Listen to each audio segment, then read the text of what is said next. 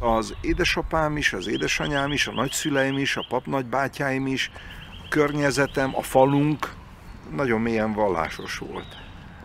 Valahogy egész pici gyerekkoromig, ha visszagondolok, mindig hittem, hogy van Isten. Amíg nem is tudtam nagyon pici koromban, hogy, hogy, hogy a golya hozza, és akkor, akkor a golya hozott, de honnan? Hát akkor valami különös finom lénytől kell, hogy hozott a, a gólya engem. Aztán, amikor már rájöttem, hogy nem a gólya, akkor meg az gondot jelentett. Hogy hát akkor én át vagyok vágva. akkor nekem nincs, nincs is teremtőm.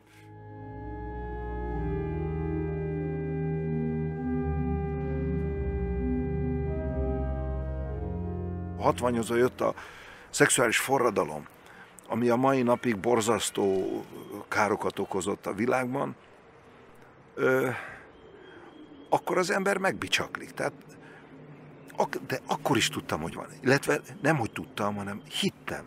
Hittem és, hittem és tudtam. Itt voltam először, hogy hívják a színpadon, profi, profi színpadon. Itt álltam először. Nagyon nagy jó. Édesapámnál játszottam először, két és fél éves voltam. A dalra azóta is emlékszem. Azt énekeltem, abban a darabban egy szegény embernek volt sok gyereke, és mindenki karácsonyra mit készített a családnak, vagy mit, és akkor én azt énekeltem, hogy rossz a Jézus kis csizmája, sír a hidegbe. Ázik, fázik, megveszi az Isten hideg. Hogyha volna kis csizmám, Jézuskának odadnám, báránybőrös ködmön kémbe jól betakarnám. Ez volt az első szerepem. Nekem az volt az első feltűnő, hogy szünidőben, ha nem fociztam, akkor mindig szórakoztattam a többieket, és rajzfilmfigurákat utánoztam, meg ismert színészeket. Ott mondták először, hogy harcs belőled, valami bohóc lesz, vagy valami ilyesmi. Szamúca úgy lettem, hogy a kollégiumban, Sopronban tanárokat is parodizáltam, meg hát másokat is. És egyszer Szalai Dénes tanár úr berontott a hálószobába, őrült szamócai utánozd az XY, most direkt nem mondom ki, melyik tanárurat. Őrült szamócai, I betűvel, onnantól kell, mi, mi kell egy diák csoportnak?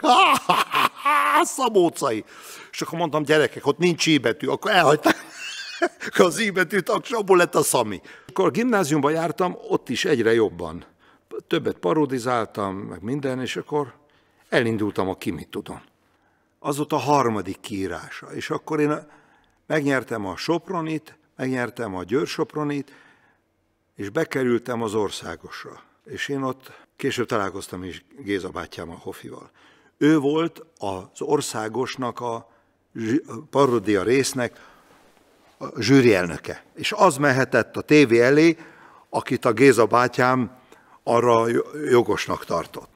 Később oda mentem hozzá, Géza bátyám biztos nem emlékszel rá. Én voltam az a fiú, aki parodizált, és ha, ha te ott engem elengedsz az országosra, akkor belőlem parodista lett volna és soha nem lettem volna színész.